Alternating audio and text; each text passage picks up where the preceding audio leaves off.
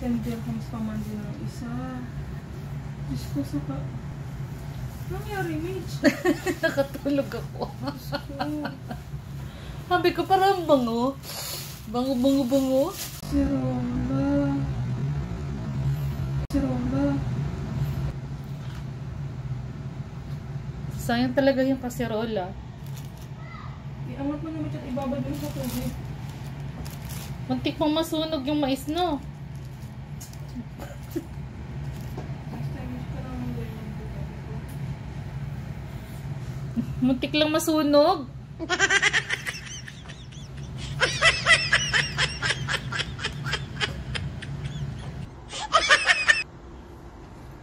Alam ko talaga nilaga to.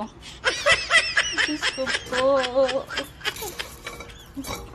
Lagot ako. Sunog. Ang aking Sunog pati kaldero. Diyos ko Buti din nasunog yung bahay.